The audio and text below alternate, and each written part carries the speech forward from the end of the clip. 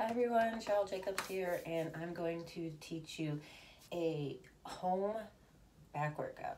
Um, some things that you can do at home. I know it's I know it's a crazy time for everybody, but we're all gonna stick with this together.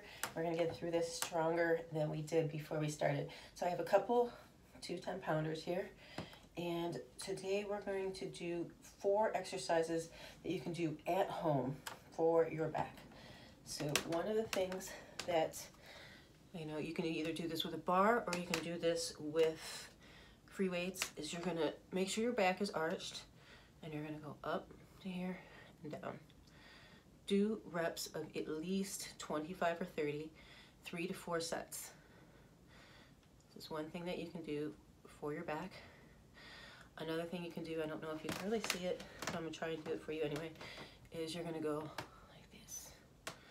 This is going to help you with get some back going. And then you can't forget about your lower back. So make sure your back is arched.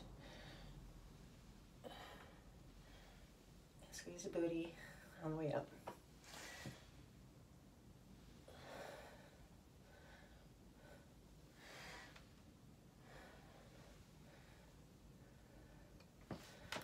Trying to think one more back exercise we can do.